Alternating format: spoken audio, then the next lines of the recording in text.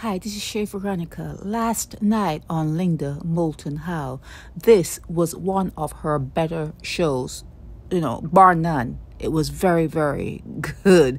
She talked about Bill Thompson. He was selected. He wrote books claiming that he was selected by extraterrestrials. He was selected by ETs.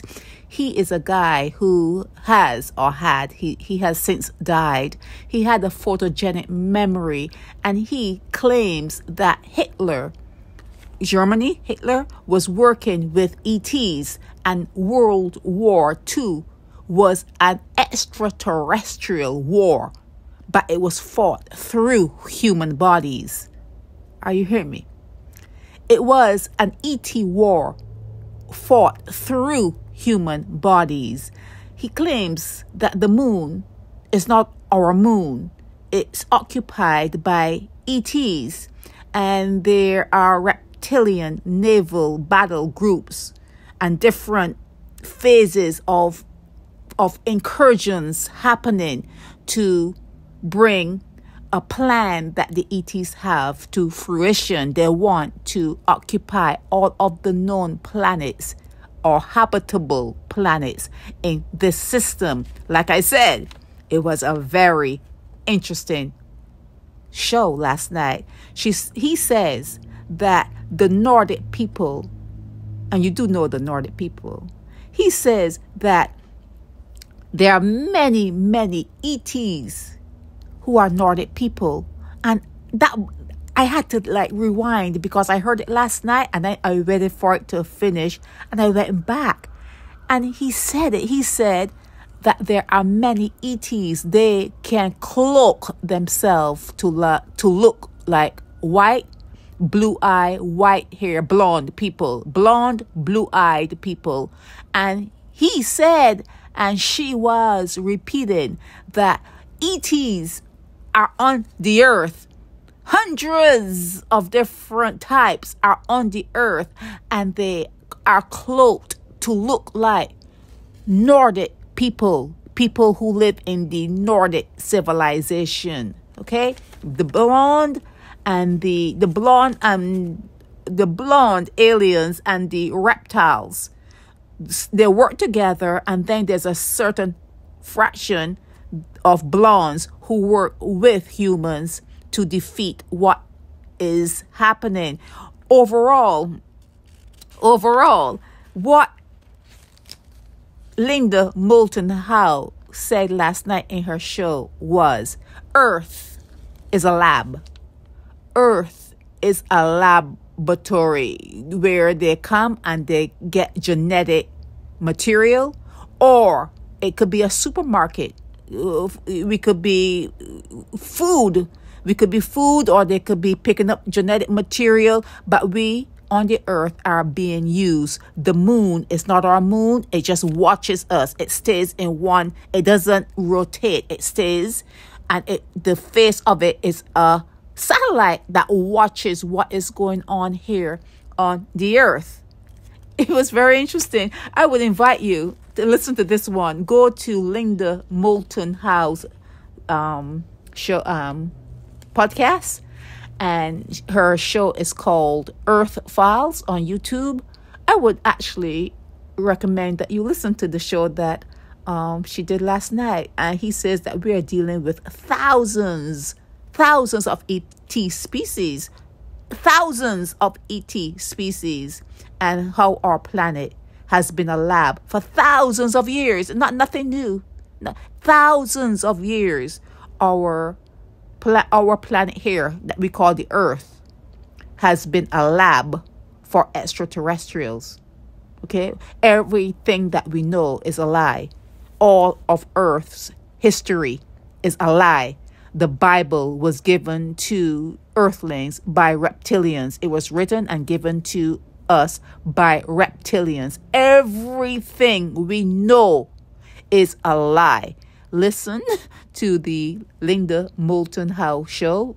It was exceedingly it was exceedingly entertaining last night and like I said, it spoke of ET races, the ones who live on the moon, the ones who live here on the earth, what their plans are, and how the United States um, got involved because they were given Germany the ETs, the extraterrestrials were given ET, were given Germans all the spaceships. They were telling them how to use the spaceships to travel in space. They were giving them all the all the technology, all the technology they needed to be in space and to conquer or to to um, live to live on other planets out there. The ETs and the Germans were working together hand in hand. They wanted to get rid of the Jewish set of people and they wanted the earth to be white and blonde. That's what that was the plan. The plan was to have the earth occupied by blonde, blue-eyed people, white people. But um, like I said, the Americans got involved. There was something called paperclip, where the Americans took the bright people out of Germany and they came over to America to work with the Americans. So the World War II was not a failure. They put it in the history books as though World War II was a failure, but they didn't fail. Whatever they wanted to do at that time was accomplished. And even when they talk about Antarctica, where there are spaceships buried in the snow and there is a alien, a ET group of people living in Antarctica and shit. That show, Linda Moulton Howe's show last night was the bomb.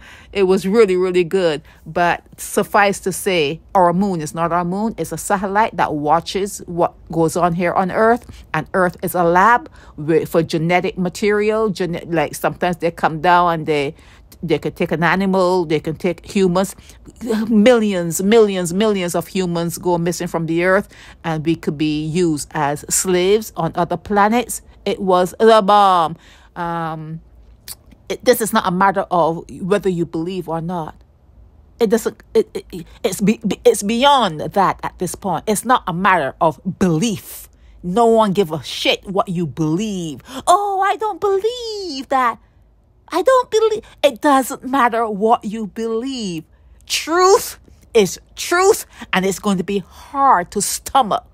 It's going to be hard to stomach that you are not what you think you are.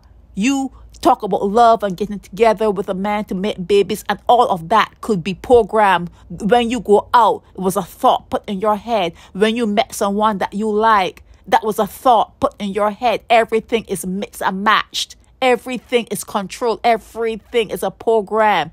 You having kids with a particular person is a program. Nothing you do, nothing you do is on your own will. You, you are, you are controlled. You are controlled.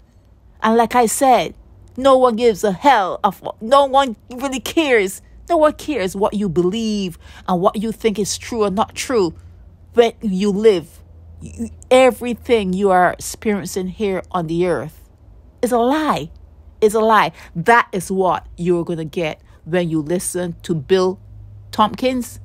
He wrote two books, Selected by ETs, Selected by ETs, Volume 1 and 2 if you listen to the people who were in those rooms, who were underground meeting with these extra people that were living extra places outside of Earth or on the outskirts of Earth or underneath the Earth, underneath the sea, above us in ships that you cannot see, our eyes, our eyes pick up just a, a, a, little bit, a fraction of what is happening around us. We see we are moving through our experience here on Earth blind we are blind. We don't see what's around us. So when you listen to Linda Moulton Howe, and if you even read just a few paragraphs of selected by ETs or anything of that particular genre, you would um, come to realize that there's more to there's more to what is happening here that meets the eye.